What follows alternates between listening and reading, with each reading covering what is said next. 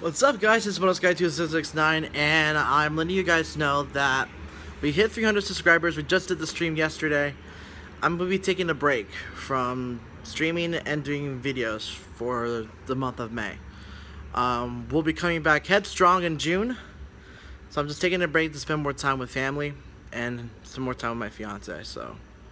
Alright guys, don't forget to watch all, all, all, my videos and enjoy them. And enjoy them with your friends and family. Spread the news, spread, spread the channel to anybody you know.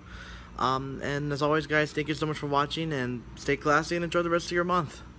And I'll see you guys back in June. Alright, bye-bye.